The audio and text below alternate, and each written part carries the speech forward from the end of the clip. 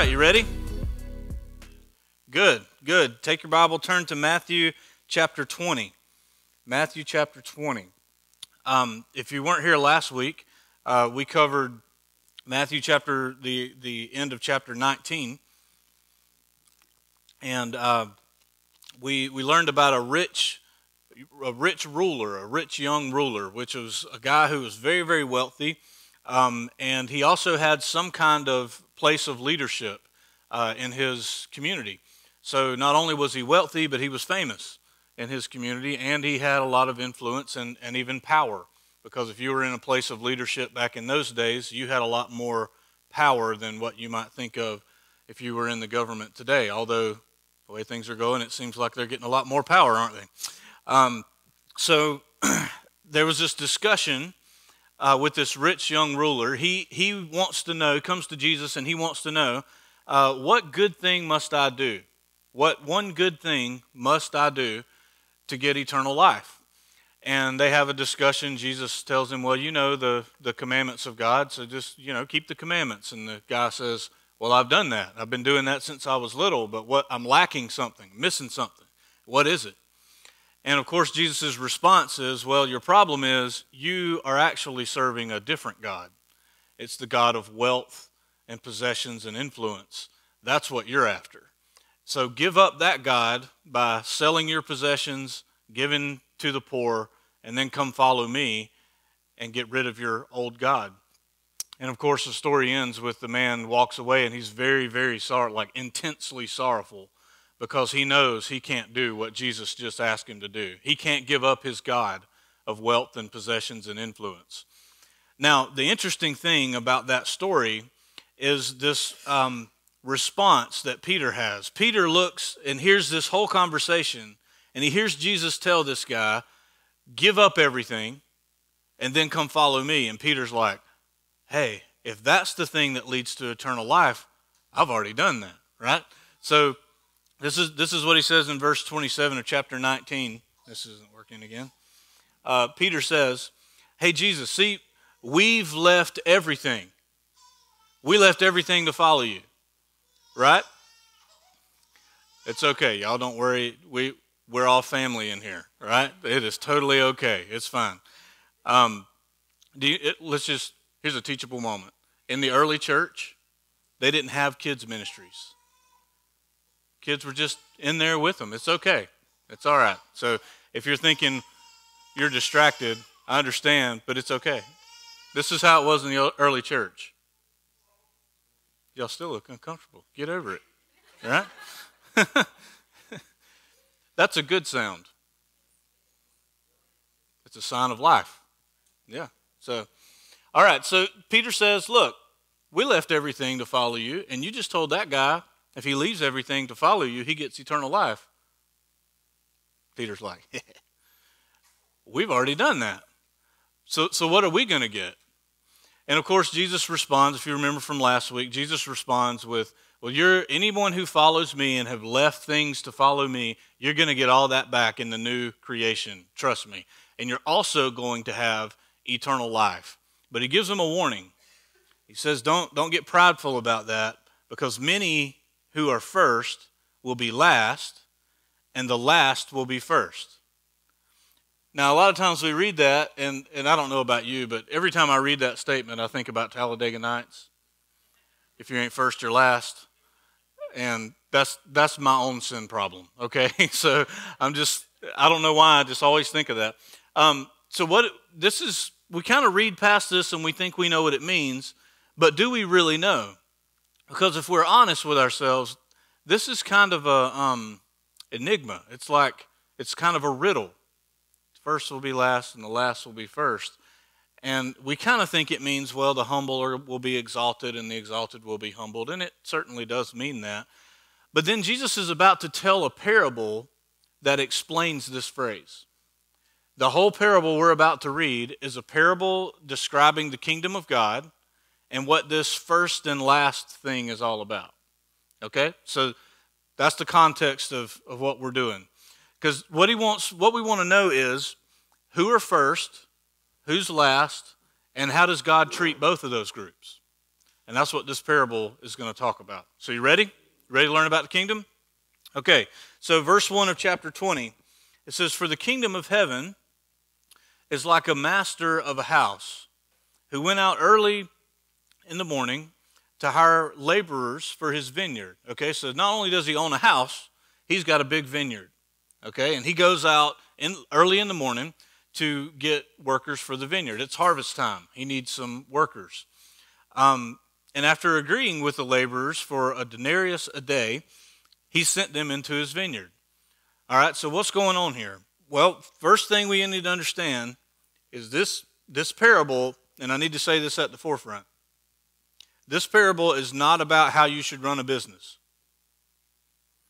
Okay, because as we go through this, especially those of you who own a business, you're going to be like, oh, yeah, this, I see what's going on here. Um, and some people, especially uh, in progressive Christianity, um, they've taken this parable to, to mean that Jesus was supporting that everybody should get the same wages. Okay? And, and you'll see when we get there, you'll see how they do that. But understand the first lines for the kingdom of heaven is like. Okay, this, uh, this is not about how you should run a business. This is not about how people should be treated in the economy. It's not about this world.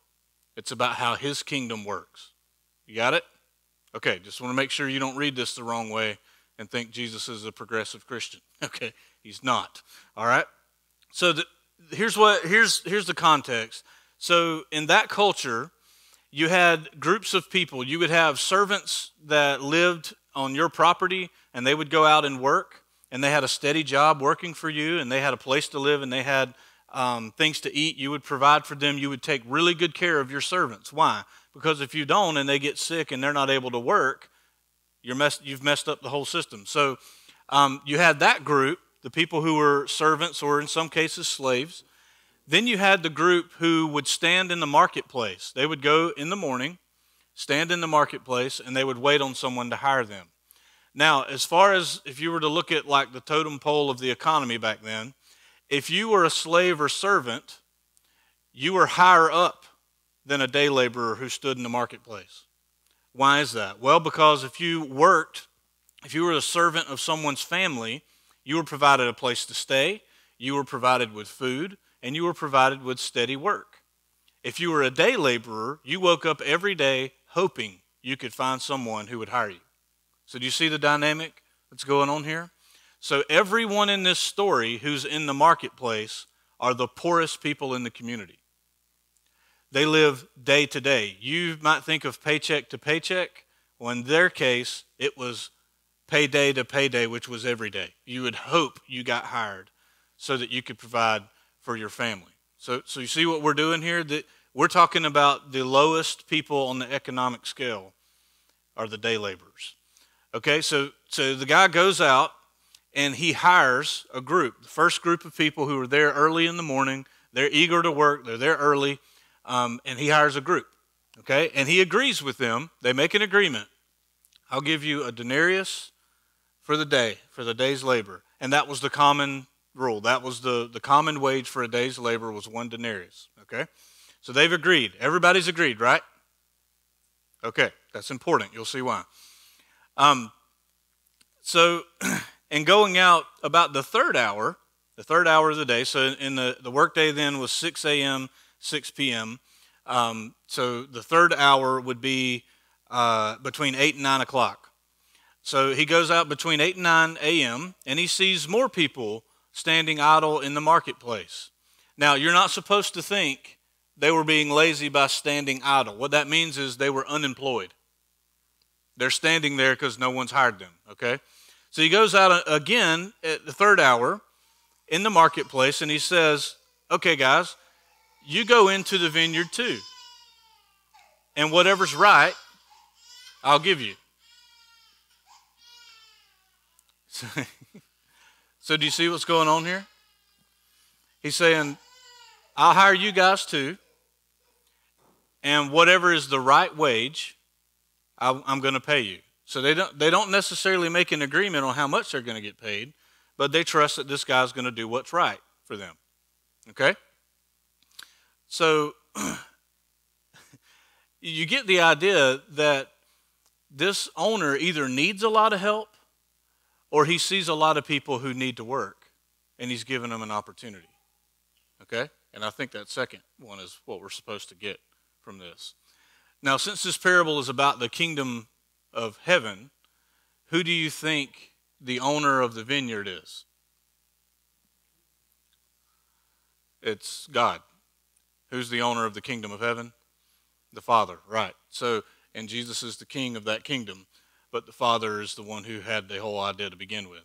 So, um, this parable is describing that the, the God of the kingdom of heaven apparently wants to include people who've been left out, who haven't been hired, and those are the lowest people in the society on the economic scale. And what he tells them is, I will do what's right for you. I will do what's right. Even though he, to this group, he doesn't make an agreement, he doesn't tell them how much yet, but he says, I will do what's right. So, what do we learn from the, about the kingdom there?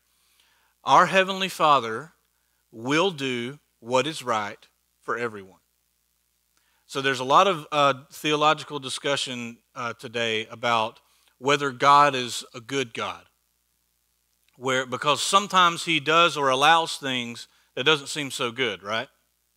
Let's just be honest about it. Sometimes things happen and we're like, I don't know what God's up to there or where he was when this went down, but uh, it kind of makes us question sometimes. But the thing that Jesus wants us to know repeatedly is whatever God does for you is going to be the right thing for you. He's going to do what's right. Do we understand?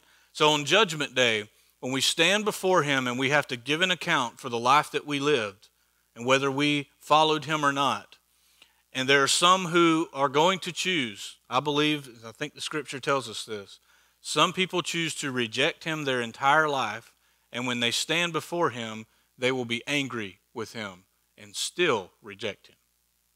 I know that sounds crazy, but I think that's going to be the case. I listen to a lot of people who are angry against God and angry against Christianity and the Bible. And I think those people will stand before him, and even in what they're seeing, the God of the universe, they will say, I don't want anything to do with you. And here are my reasons why. And God's going to say, Well, I'm going to do what's right for you. I'm going to allow you to have what you want. If you don't want me, I will not force you to be with me. I will give you what you want. And that will be right for those people. Right? Make sense? He's a just God. He's not going to force himself. Okay, so so that group they went out to the vineyard, and then the owner of the vineyard goes out again at the sixth hour and the ninth hour. So think around noontime and mid afternoon. He goes out two more times to the marketplace and did the same thing. Gets more people. Hey, you don't have a job yet? Well, you can come work in my vineyard. So he's bringing in more and more people. He's constantly seeking those who are in need and left out. You see it? This is about the kingdom. He's constantly seeking those who no one else wants. All right? And then, about the 11th hour, he went out and found others standing. The 11th hour. This is the last hour of the workday. He goes and finds others uh, standing around. And he says to them, Why do you stand here idle all day? Why have you been here all day and no one, what, what's going on? And they said, Well, because no one has hired us. And he said, Okay, well, I'll hire you. You go into the vineyard too. So he's, he's hiring people in the last hour of the workday. That tells us that it's not because this owner needs workers. What are they going to do in the last hour? Man, that's barely enough time to get started right? So, what I think we're supposed to understand here is what Jesus is trying to explain is that his heavenly Father is like this owner of a vineyard. Matter of fact, he kind of owns all of them. And he goes out to those who nobody else wanted. Because here's what we need to understand. If you think about these people who are still in the marketplace, still waiting to get hired in the last hour of the day, why are they there? Why has no one hired them? probably, now it doesn't tell us in the text, so this is speculation, but it's, I think it's very likely that the people who are still there in the 11th hour are probably older people who aren't as strong and aren't as young, or maybe have some kind of injury, and they're there just hoping somebody needs help so they can get, make enough money to eat for that day. They're the people who nobody else wanted to hire. It could have been that maybe some of these workers had a bad reputation. Maybe these workers were known for showing up late, or maybe they were known for, uh, you know, laying out of work the next day because they got drunk off the uh, the pay from the night before. Um, we all understand this is a dynamic even in our own culture, right? Maybe they were those kinds of workers. Maybe they were just older and weaker, so nobody hired them first. Either way, the kingdom principle here is God loves the undesirable. He wants the unwanted, He loves the unlovable. That's the kind of God He is.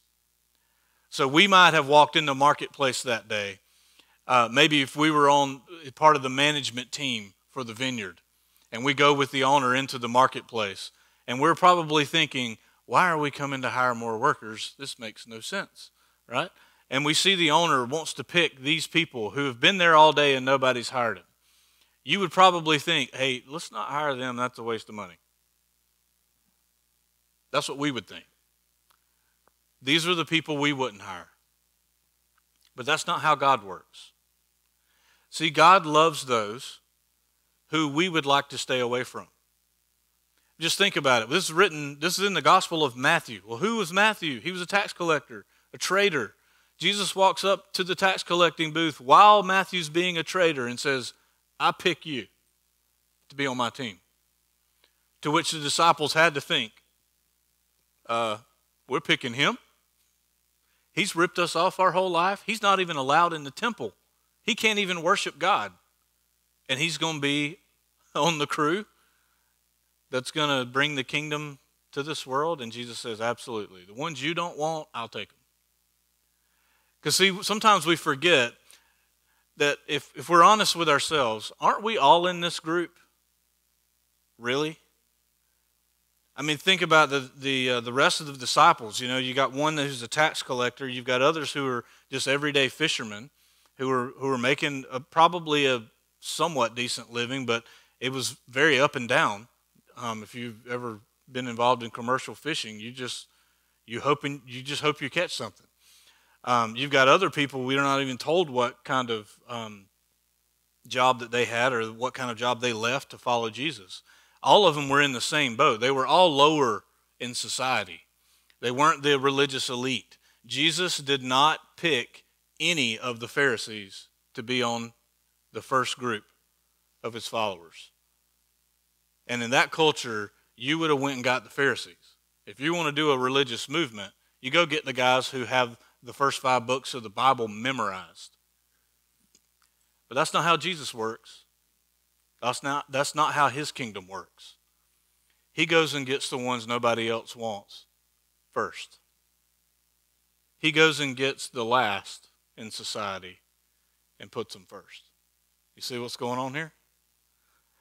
So God, God loves those that we want to leave behind.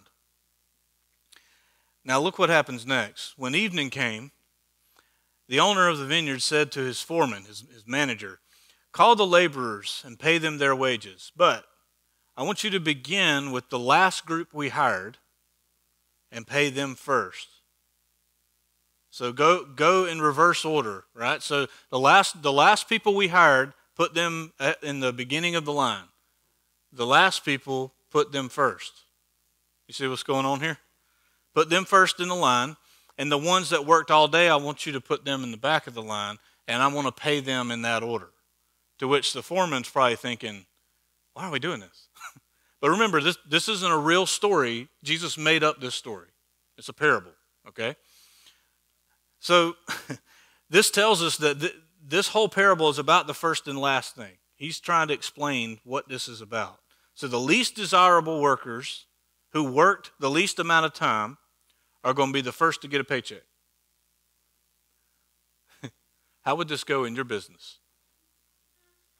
it would go exactly how this is about to go. Okay?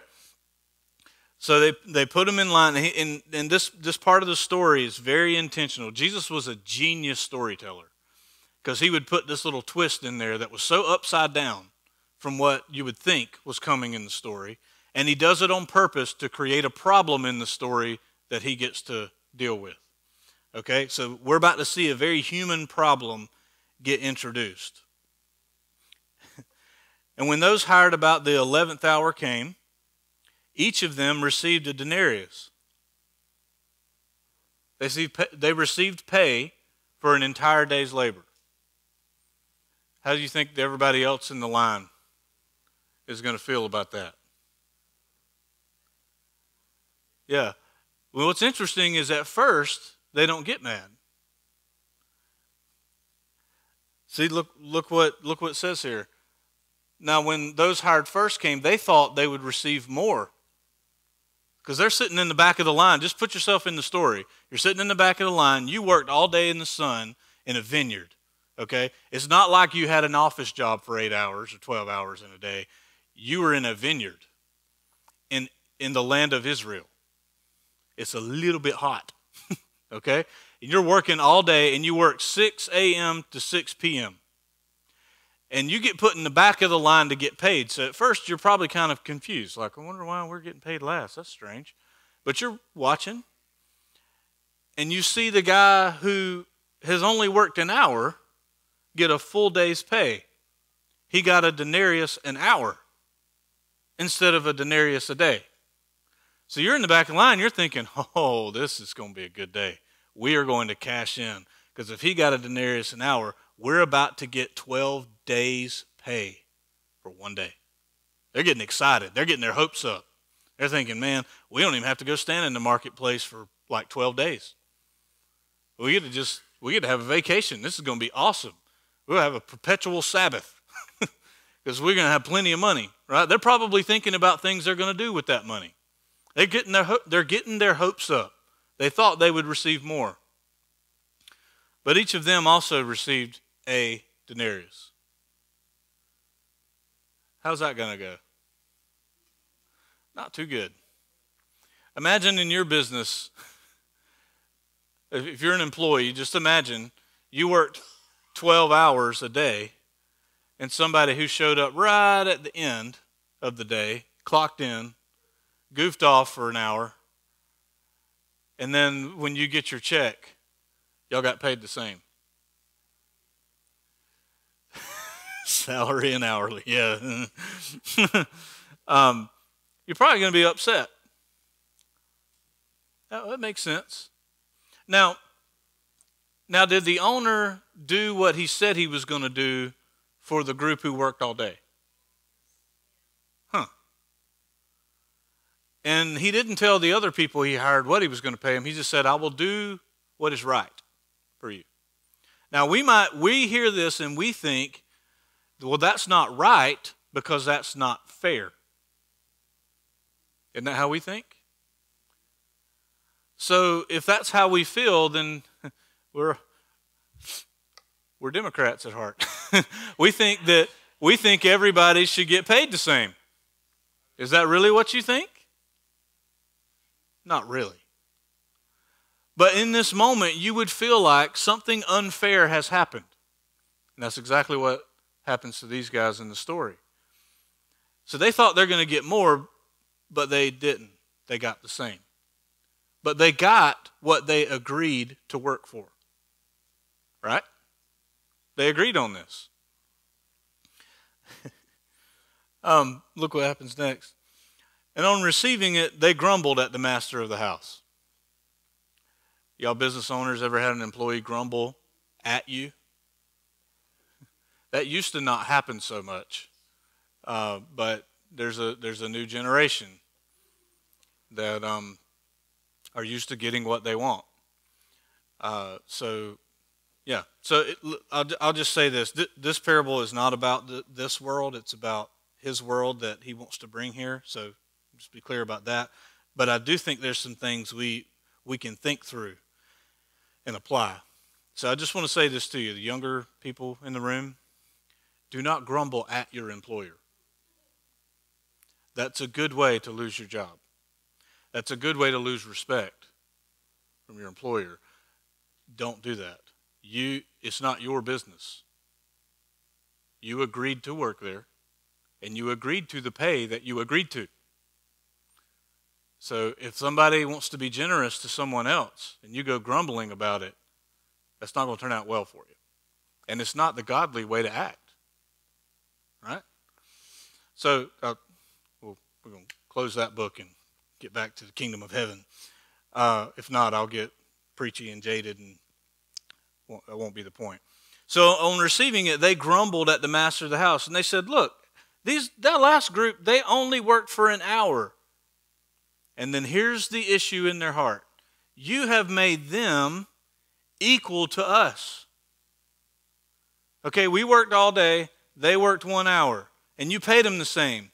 So here's what that did: you made them equal to us.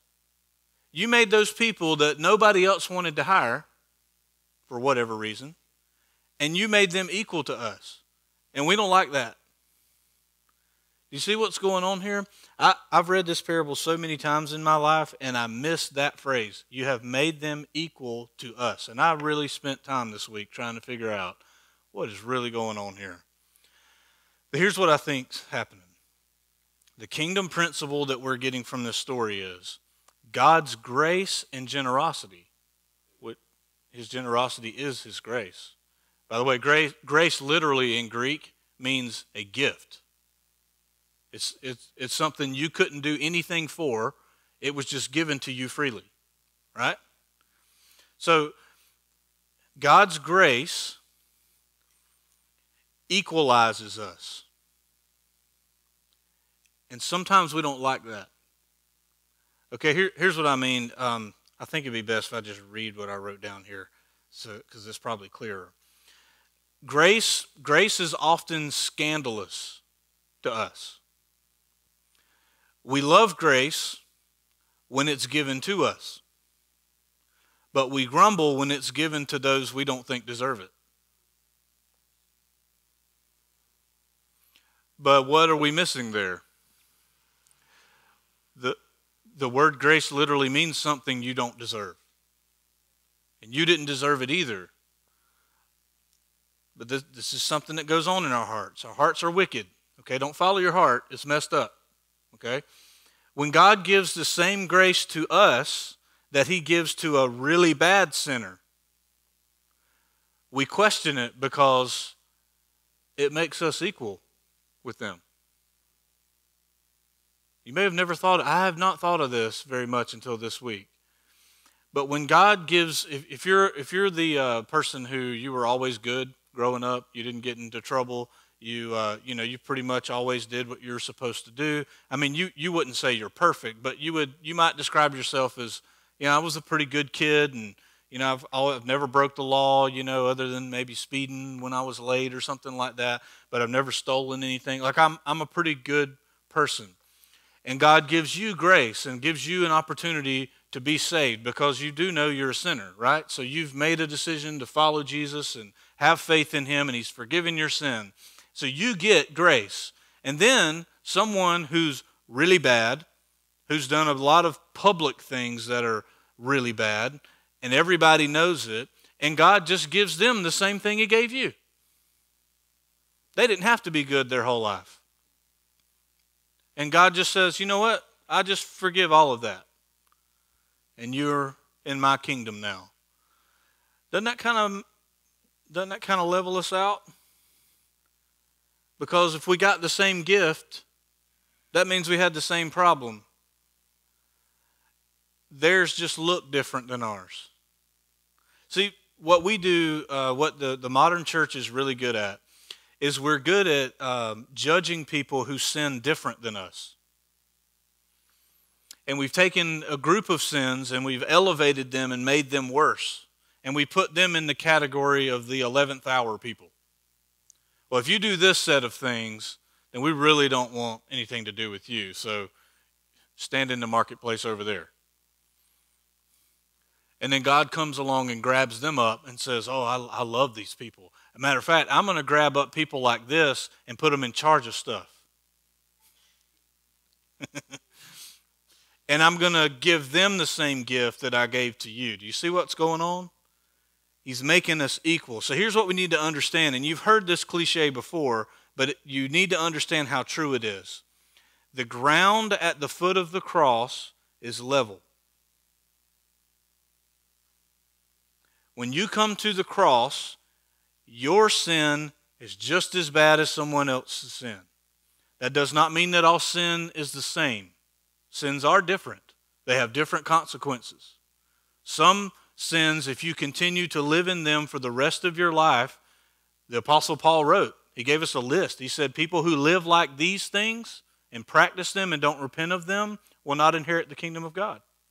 So there are some things that if you don't repent of. If you practice them daily and that's just how you want to live and nobody can tell you any different, don't expect to enter the kingdom of heaven. All sin is not the same, but be careful pointing out the sins of others. Because if you go read that list, we read it a couple weeks ago. If you go read that list from the Apostle Paul that says, gives us a list of things that will shut you out of the kingdom, you'll find some things in there that you do. Now, the first few on the list, we all kind of understand, you know, immorality and adultery and all this, all this really bad stuff. But then he throws things like greed in there. Uh oh. Remember, if you're in the back of the line and they got paid the same you did, and you're like, that's not fair, well, that's greed because you agreed to what you got and you're just mad because God was generous to someone else. And they got the same as you, right?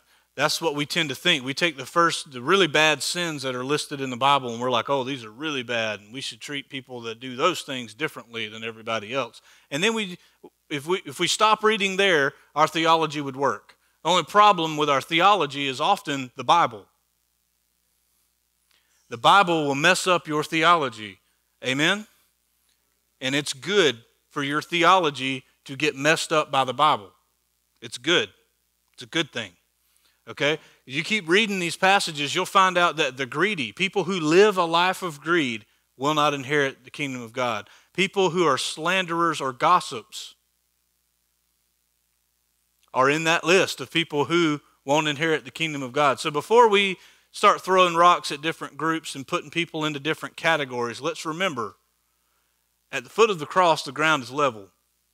We all have to come to the same place for forgiveness. We all have to come to the same place to receive God's grace. So it equalizes us. And listen, if you want to live in God's kingdom in this life and in the next, you had better get used to being equalized. You're not better than anybody else, and neither am I. It'd be, you're, you'd be better off to be last than to be first. See, the real issue here is, is our pride. If we think someone else is less deserving of God's generosity, we have forgotten our own sinfulness. We've elevated ourselves with this false sense of, of uh, morality and superiority. Look what happens next, how the owner replies. But he replied to one of them, Friend. You notice that? Friend. So I hired you, you worked all day. I was generous to some other people. You don't like my generosity. You think you can tell me what to do with my stuff. Friend, let's talk about it. The Father is gracious even to the grumblers calls them friends. Friend, look, I'm not doing you, uh, I'm, I'm doing you no wrong. Did you not agree with me for a denarius, for a day's labor? Didn't we agree on this? So take what belongs to you and go. I chose to give to this last worker as I give to you. Here's the, uh, the short way of saying that God can do whatever He jolly well wants to. If God wants to save somebody that you think don't need saving, that needs to just be shut out of God's grace forever, God will most likely change that person's life right in front of you just to rub it in your face. You say, well, I don't think God does that. You better believe He does it. Um, the Apostle Paul, you don't think he saved the Apostle Paul just to rub it in the Jew's face? I'll take one of your highest officials. He was the attorney general of Israel. That's who Paul was, or Saul. And what does God do? He says, You know what? I started out by picking all these fishermen and traders and tax collectors and sinners, you know. I started out with them. Now I'm going to pick the one that they think would never follow me.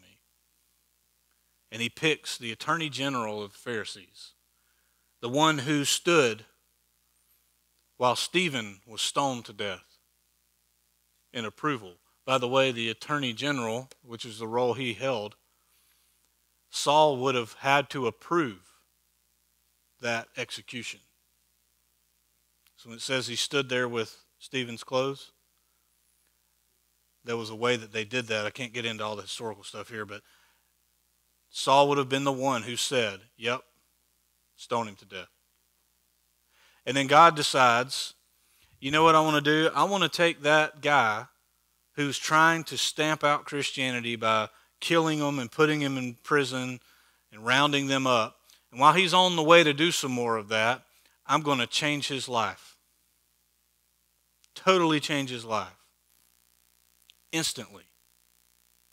And he's going to actually be the one to go to the Gentiles, the non Jewish people, and spread my kingdom all over the world.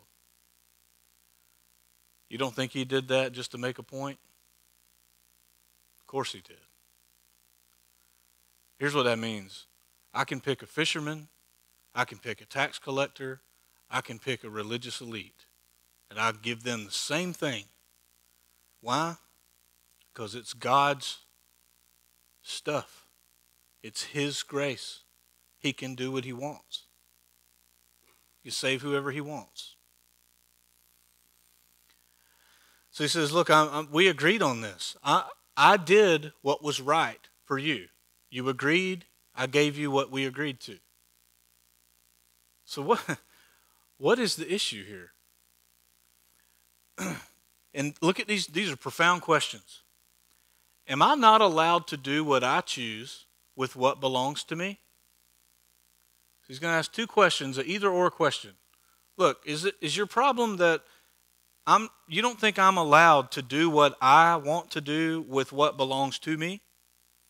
Or is it, is it you just don't like that I'm generous?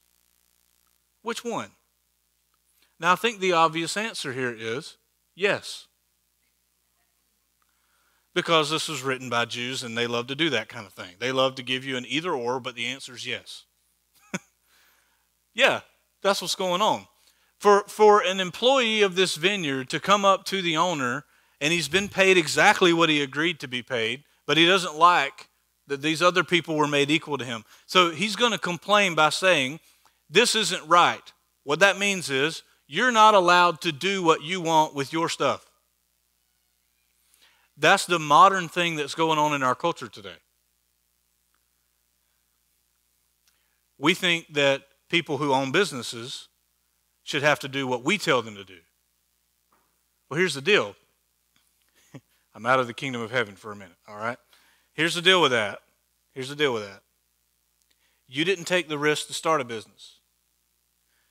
You don't have to pay for all the things a business owner has to pay for to be able to have you working there. Stuff that you never see that they have to do, things that they have to put up with with the government taxes they have to pay because you work there. You don't get to tell them. You don't get to tell an employer what they're allowed to do with their business. Amen? Okay, good. Now let's go back to the kingdom of heaven. So, am, am I not allowed to do what, what I want with my stuff? That's the question. So, let me ask you this think spiritually for a minute. Are we allowed to tell God that He shouldn't have given His grace to somebody? no. I mean, are we really going to stand in line on Judgment Day and he's going to forgive somebody and we'll be like, oh, I got a question? I don't think he deserves that. And Jesus is going to go, Yeah, you don't either. Keep piping up and you'll get to go to the left and not the right. I don't know about you, but on Judgment Day, if there's a line, I am silent. And when I'm, I'm going to be watching, and when, when somebody really awful gets forgiven, I'm going to be like, Yeah, amen. Yeah, forgive them. Forgive all of them. all of them. I don't care what they did. Forgive them all because I, I want to be forgiven too. I'm going to be happy for those people. Look, I don't know what's happened to Christianity today where we start thinking that certain people don't deserve God's grace. No one deserves it. That includes me and you. We don't deserve it. We should be excited. What did, what did Jesus say in the parable of the lost sheep? When he comes back with the sheep over his shoulder, what's he doing? He's rejoicing. And what does he do when he gets home? He calls all of his friends and neighbors out, and they just throw a rejoicing party. I found the lost one. That's the way God's kingdom works. The way our earthly kingdom works is we'll see how long that lasts. I don't think that that person should be forgiven so easily because of what they did. They should have to pay for it a little. So let me ask you this question. If you've ever had that struggle, do you really want God to force you to pay for your sin? Even a little? Even a little? We like to enforce our consequences onto people's sin that they didn't even do against us. They did it against God. And you know what he does? And he's right in doing so because it's his. He can look at someone who says, You know, I've done all this damage but I repent. I will no longer go that direction. I want you. He can look down and say, Good, you're forgiven. Now go and sin no more. And that burns us religious people up. Because we're so ingrained in the kingdom of this world that we think we have to make people pay. That's what these that's what the problem was with these guys. He didn't earn that much money. We earned that denarius for a day. That guy was only here an hour. He didn't earn it. The point of this parable is none of you earned it. I gave you what I agreed to. So, in terms of the gospel, when he says to you, I will give you eternal life if you repent of your sin and place your faith and trust and loyalty in me alone.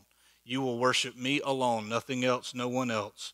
When you do that, I will give you grace, mercy, eternal life, forgiveness, all in a package. I will give it to you, and I will continue to give it to you forever. And then someone else comes along way worse than you, and he gives that same exact gift too. We should be outside of ourselves happy that he does that for people. Because here's the truth tomorrow you might be just as bad off as that person was. I know that what we do is we think we would never do certain things.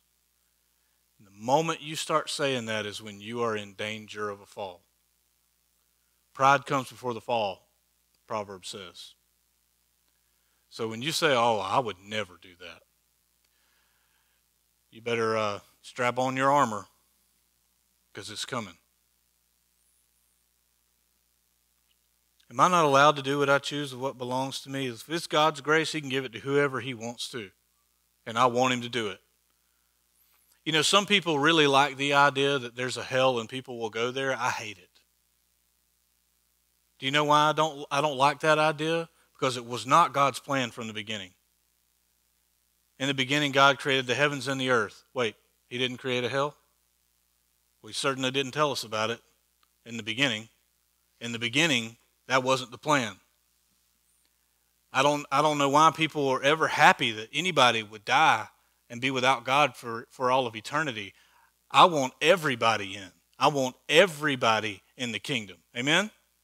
Everybody. I don't care how messed up you are. You messed up? I'm messed up too. Let's be messed up together. Come on in. Let's figure out how to repent of what's wrong with us and let's go forward in the kingdom and in His grace. I want everybody in.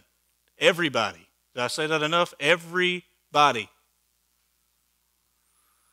Why? Because none of us deserve it. And God can do what He wants with His grace. And I am not going to get upset with Him because He's generous. That's the issue here. Look, it's mine to do what I want. I paid you what we agreed to. I was not unfair to you, and I didn't do what was wrong. I gave you what we agreed to. I just decided, out of the goodness of my own heart, that I would give that guy who's been broke all day long in the marketplace, I decided to give him the same pay. I was generous to him. Did he earn it? No. That's why it's called grace. We didn't earn it. You see what Jesus is doing? He's trying to speak to Peter's question. All right, well, I gave up everything, so does that mean I'm going to be special? He's the, Peter's the guy at the end of the line. I left everything. I've worked really hard following you these three years. What am I going to get? Jesus, this is Jesus' way of letting his disciples know who have left everything to follow him. Don't get prideful now. Don't think that you matter more than someone else who comes in right at the end. Don't think someone who has hated God their entire life but suddenly experiences His grace and they repent and they love Him and want to follow Him. Don't, don't look down on them because you've been in it longer than they have. So the last will be first and the first last. It's a brilliant way to explain a very confusing phrase. Let me tell you a story a story that we don't we all connect with this? Don't we all get the point? God's kingdom doesn't work like yours. God's kingdom doesn't work like your business. God's kingdom is completely unique and it's totally upside down from how the world works. And He wants that upside down kingdom to completely take over this world. How's He going to do that? Through us. And every time I think about that, I think, God, you could have you could have come up with a better plan. You're going to use us to do this? We get everything wrong almost all the time. Okay? About every Sunday, we get a few things right. Other than that, we're messing this thing up over and over again. We're trying. We really are trying. But until we learn to abide with Him and learn to let His Spirit actually live in and through us, we're not going to experience the kingdom at the level that God wants us to. He wants us to spread his kingdom. What that means is is first got to be in you. You've got to take hold of this thing called the kingdom of heaven and realize it's for now. It's for right now.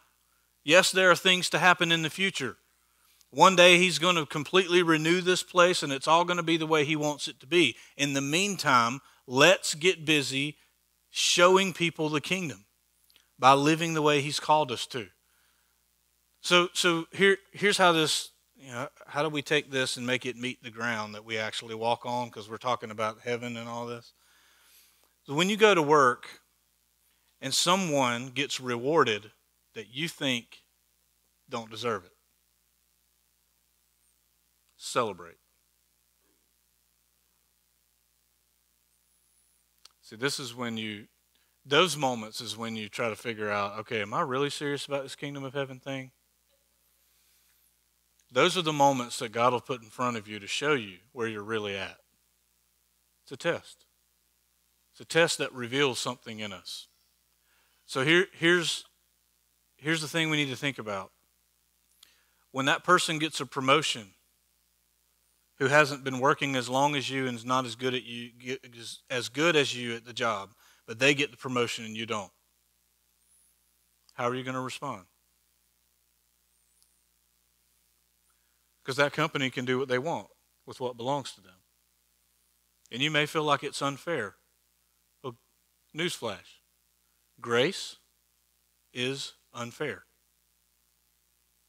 You don't want fair when it comes to us and God. You understand that, right? You do not want him to be fair. Because if he's fair, we're all out. All of us are out. What we want is we want Him to be generous with His grace. And what He wants is for you to be generous with grace.